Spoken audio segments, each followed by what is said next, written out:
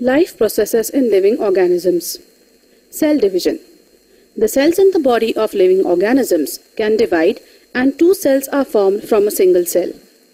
Due to this characteristic of cells, living organisms can grow, make up the wear and tear in the body and can give rise to new organisms. Every cell in our body has a nucleus and other cell organelles. According to the species, definite number of chromosomes are present in the nucleus. These chromosomes are visible only at that time of cell division. Otherwise, they are in the form of a single long thread called chromatin. The cell division occurs in two ways, mitotic and meiotic. In mitosis, the number of chromosomes in the daughter cells is equal to that in the parent cells, whereas in meiosis, the chromosome number in the parent cells is halved in the daughter cells. Mitosis occurs in the somatic cells and the stem cells in our body, whereas meiosis occurs in our germ cells. In any type of cell division, first the nucleus divides, that is karyokinesis, and then the division of cytoplasm, that is cytokinesis, takes place. Mitosis.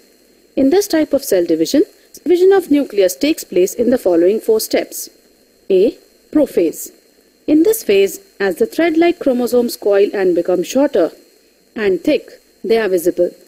Each chromosome shows two distinct threads called as sister chromatids joined at a point called the centromere. The centriole divides into two and they move to the opposite poles of the cell. The nuclear membrane and the nucleolus start disappearing. Metaphase. In this phase, the nuclear membrane completely disappears. The coiling of chromosomes is complete and they are distinctly visible. They are arranged in the central plane of the cell. Flexible fibers of special proteins called spindle fibers are formed in between each centriole and centromere of the chromosomes. Anaphase. In this phase, the centromere of each chromosome is split into two parts with the help of spindle fibers.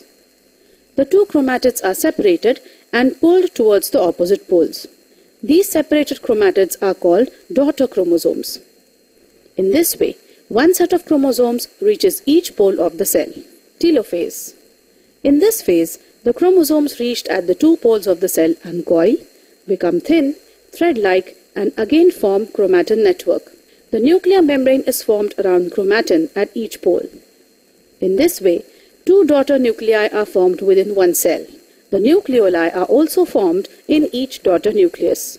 The spindle fibers disappear completely. In this way, the nuclear division is complete and the division of cytoplasm starts.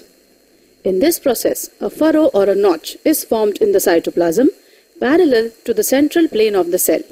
It becomes deeper towards the center of the cell and two new cells are formed.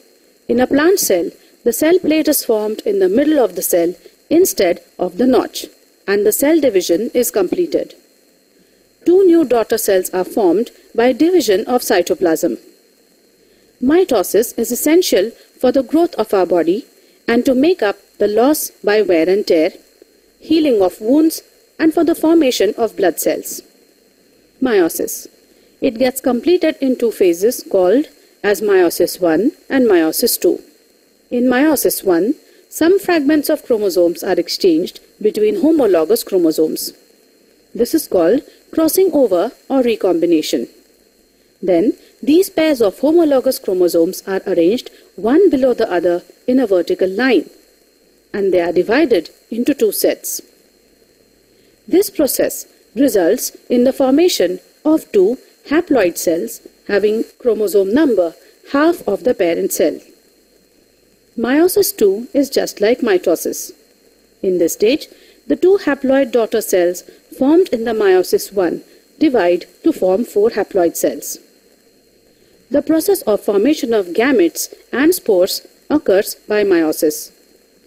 During the cell division, crossing over takes place between the homologous chromosomes. Hence, four daughter cells formed are genetically different from the parent cell and from each other.